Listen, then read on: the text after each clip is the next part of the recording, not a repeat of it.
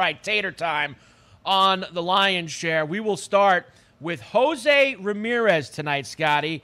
And really, the price jumped out at me. We know how good Ramirez is. He hits a lot of bombs, four homers in his last 10 games, plus 450 for him tonight. And here's the other side Bradish is going for the O's. He gives up bombs, man. 15 homers allowed in just 80 innings this year. I'll take a shot with Jose. Yeah, I'm with you. No problem there. He's a badass, and your boy throws up gopher balls, so why not? And same thing as, frankly, Gerrit Cole. Ace Ventura has always given up big home runs. He did it again last night against Ohtani. Same thing here. Uh, Bradish is on my salad, uh, gives up a, a lot of long balls, so why not with the baddest guy in the lineup?